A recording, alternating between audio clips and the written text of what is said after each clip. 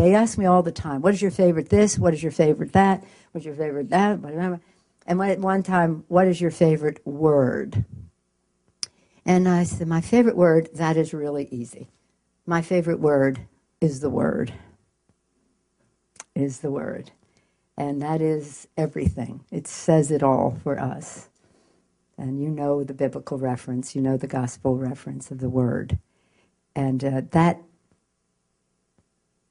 word is, uh, we have to give voice to what that means in terms of uh, public policy that would be in keeping with the values uh, of the word.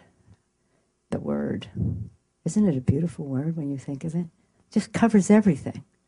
The word.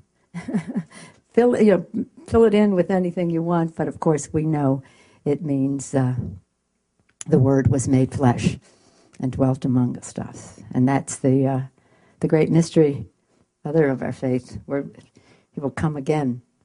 He will come again. So we have to make sure we're prepared to answer in this life or otherwise uh, as to uh, how we have uh, measured up. Yes, you said at a recent Catholic community conference that if your uh, favorite word was the word, is in the word made flesh, and that we need to quote give uh, we need to um, give voice to what that means in terms of public public policy.